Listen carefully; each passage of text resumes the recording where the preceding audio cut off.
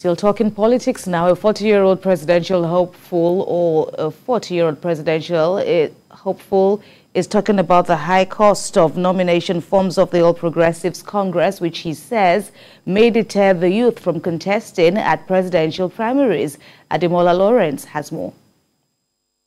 One month from now, the All Progressive Congress will be conducting presidential primaries for all its aspirants who have showed interest in contesting for the highest political office in the country the presidency seat.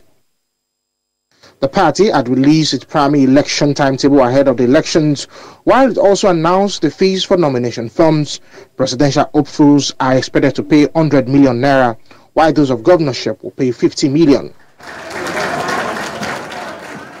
For this former presidential candidate of the People's Coalition Party (PCP), who came third in 2019 election after President Muhammadu Buhari and Atiku Abubakar, the nomination form is a way to scare youth away from contesting the election.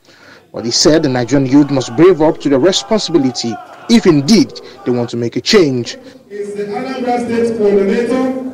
Speaking with journalists, the presidential hopeful said Nigeria needs a vibrant youth who will bring in fresh ideas into government of the country. Let us be the generation that we end insecurity and poverty in Nigeria.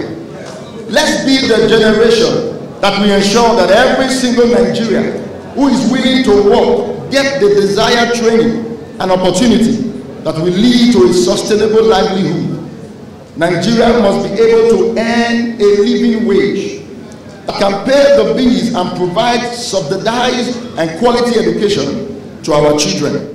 He added that for Nigeria to compete favorably among the League of Nations, then it must take serious the welfare of our citizens rescuing Nigeria and Nigerians from perennial insecurity by strengthening and equipping of our military formation and the police force.